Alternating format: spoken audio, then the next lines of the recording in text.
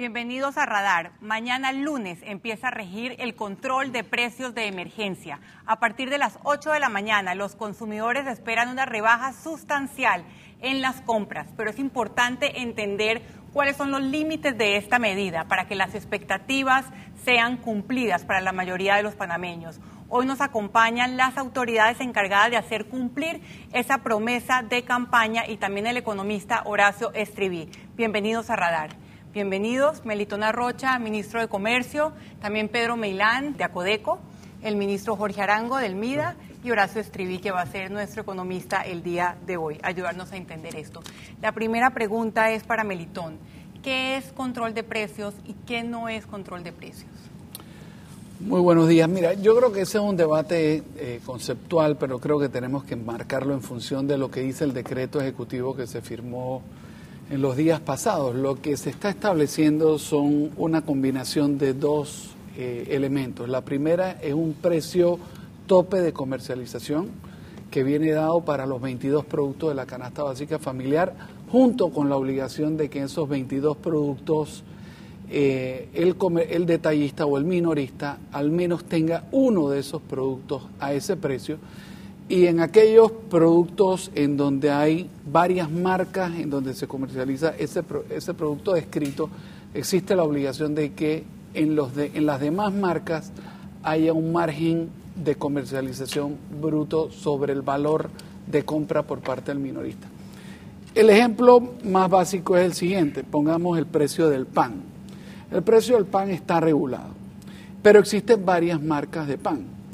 Y varios tipos de pan. Sí, Primero, solo estará regulado el tipo que está escrito, descrito en el decreto, que en este caso es el pan blanco de determinado peso. Y en adición a eso, eh, digamos, lo que está regulado por precio es que el comercio tiene la obligación de tener uno, un molde de pan o una variedad de molde de pan a ese precio. Todos los demás moldes de pan, la obligación sería marginar 10%.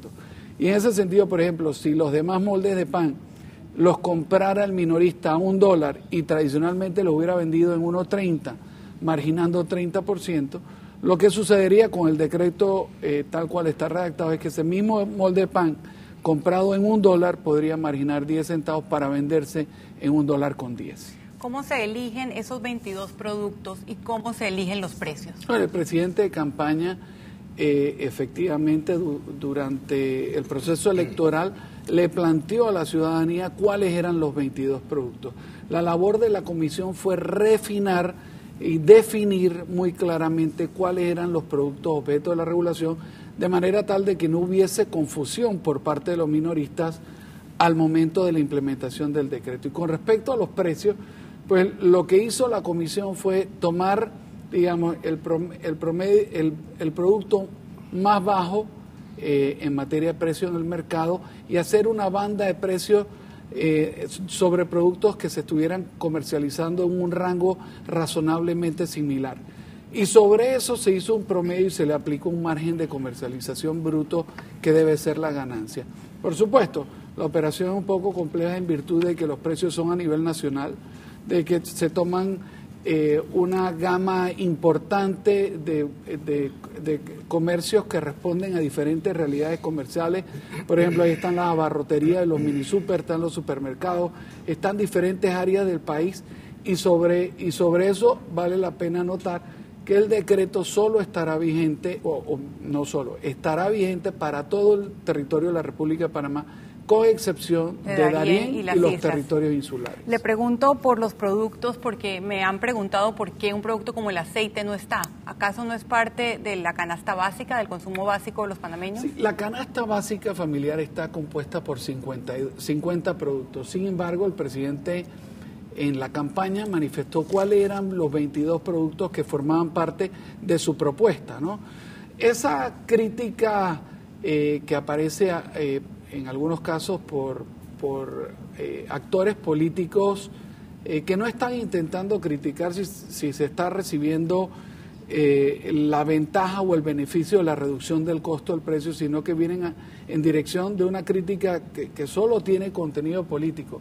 Pero déjame decirte más, El aceite está contenido en los otros 28 productos de la canasta básica familiar, sobre lo cual el decreto también establece un concepto al que nosotros hemos definido como libertad vigilada. ¿Y esto por qué lo hemos hecho? Porque lo que no queremos que se dé es el efecto del colchón de agua, en donde apretamos en una esquina del colchón y se infla otro. Y se infla en la otra, ¿no? Y ahí lo que plantea el decreto es que exista la obligación por parte de los agentes económicos en los otros 28 productos de la canasta básica familiar que antes de aumentar el precio con cinco días de anticipación tienen la obligación de notificar a la Autoridad de Protección al Consumidor y Defensa de la Competencia. La autoridad irá recopilando esa información y en la eventualidad de que encuentren de que hay un patrón de conducta a determinado producto, tendrán la responsabilidad de hacer de esa información del conocimiento del, del Ministerio de Comercio e Industria para que a través de la comisión tripartita conformada por el Ministerio de Economía y Finanzas y por el Ministerio de Desarrollo Agropecuario, se revise la racionalidad de esos aumentos. En la eventualidad de que se determine que esos aumentos no tienen un comportamiento lógico en virtud de las condiciones del mercado, usted tenga la seguridad que al gobierno no le temblará el pulso para regular ese producto. Señor Horacio Estriví, ¿cuáles son las consecuencias económicas a largo y a corto plazo de una regulación de precios? Usted como economista, ¿qué, piensa? Coincido con el ministro eh, Arrocha en que hay que darle esto un marco conceptual y por ahí me gustaría empezar para luego abordar el tema específico de la, de la regulación de precios. Y lo primero es que yo creo que desde una perspectiva de políticas públicas es necesario mantener una visión ecléctica. ¿En qué sentido lo digo? No llegar a los extremos de plantear que los mercados siempre son malos o siempre son buenos, o que, en sentido contrario, la intervención del Estado siempre es buena o es mala. Eso como punto de partida. Y la experiencia de los países que han logrado el desarrollo nos demuestra a nosotros que precisamente el éxito ha sido lograr esa, esa combinación óptima entre mercado y Estado. Y digo esto porque es importante que a estas alturas no estigmaticemos los mercados. El mercado no está funcionando. De otra manera, no estarían interviniendo. Allá vamos. ¿Qué piensa usted? Hay una, una concepción generalizada y errada de que en Panamá la especulación y los altos precios se deben a la libre oferta y libre demanda. Hagamos una aclaración. En Panamá hay un mercado alimentario, hay oferta y hay demanda, pero está lejos de ser libre. ¿Por qué no son libres? Eh, porque, y esto lo reconoce el propio eh, presidente Varela, igual que los otros candidatos que que no salieron favorecidos, todos coincidieron en señalar que en Panamá hay estructuras de carácter o, prácticas oligopólicas y monopólicas. Lo que se llaman carteles. Efectivamente. Entonces, este, eso es lo primero como concepción. En Panamá realmente hay mercado, pero es un mercado que no funciona de forma libre. Y esto es importante cuando se van a, ver las medidas que se deben adoptar a, largo plazo, más allá de los beneficios o no de las medidas que se están adoptando ahora en materia de regulación de precios.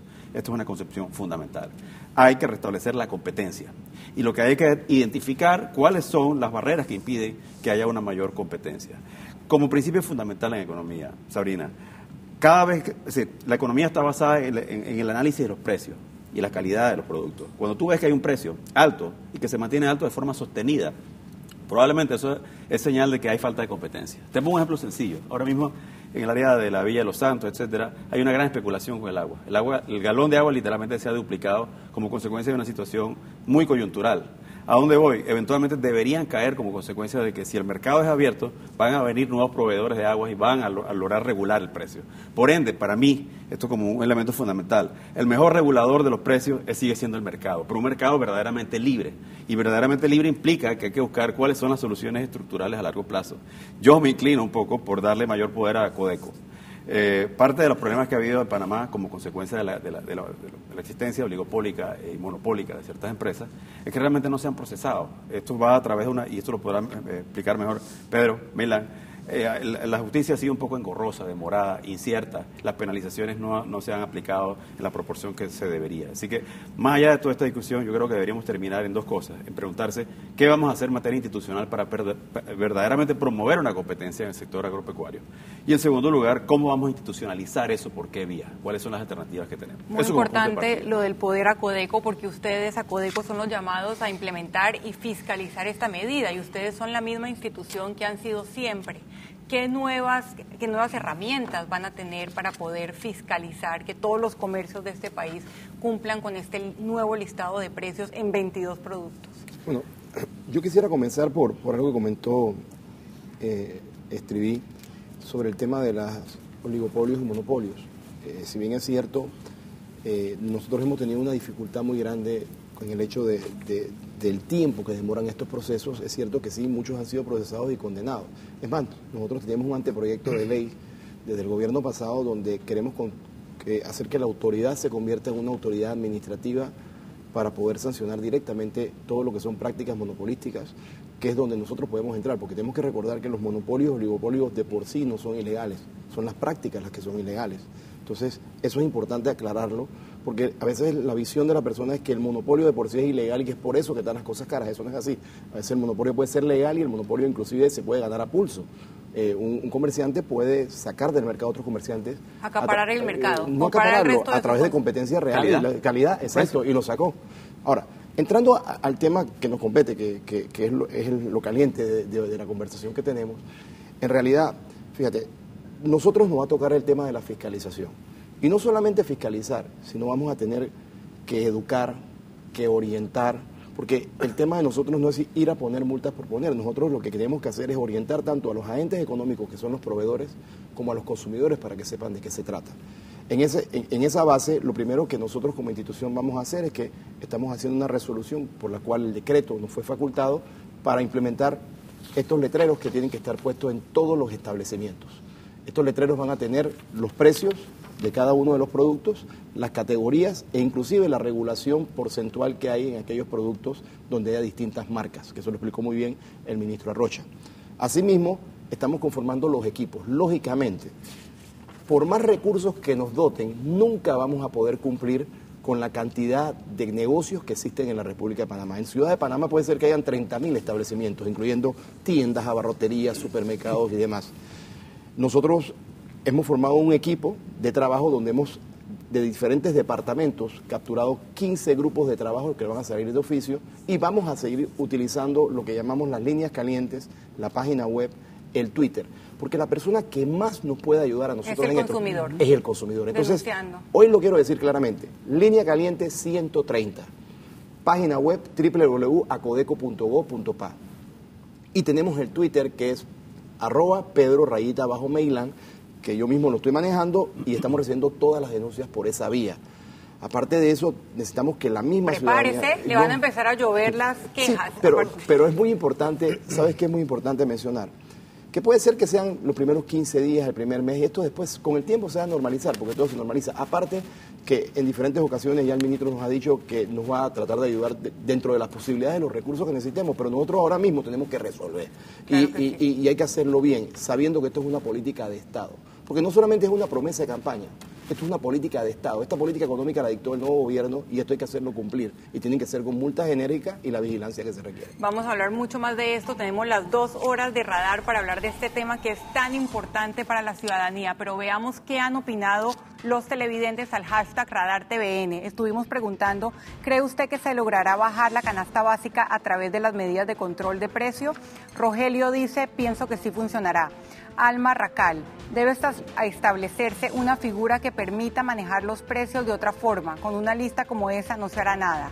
Carmelo López, difícilmente. Eso no depende solamente de control de precios, depende de otras cosas también. José Fuentes, ¿y cómo controlarán que no suban los demás productos que no están incluidos para compensar la pérdida? Pregunta.